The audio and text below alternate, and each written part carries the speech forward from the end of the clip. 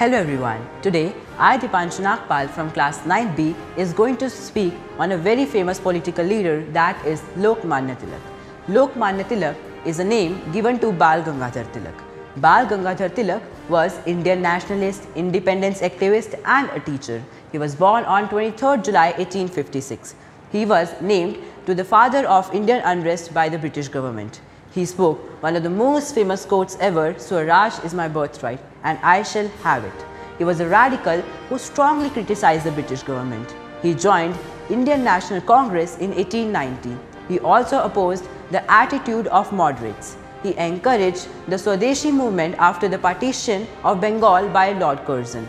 He was tried three times by the British government and even arrested, but he never left inspiring people. And today also we can get many things to get inspired from him. Thank you and have a nice day.